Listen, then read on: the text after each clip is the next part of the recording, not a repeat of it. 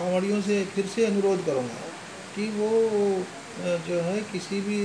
तरह से ऐसा कोई काम न करे जिससे कांवड़ व्यवस्था कांवड़ मेले की व्यवस्था को शांतिपूर्वक ढंग से संपन्न कराने में कोई बाधा उत्पन्न हो और वो हरिद्वार की और गंगा जी की गरिमा को बनाए रखें, पवित्रता को बनाए रखें। धारा एक सौ चौवालीस इस चीज़ के लिए लगी है कि जो मैक्सिमम डेसिबल है,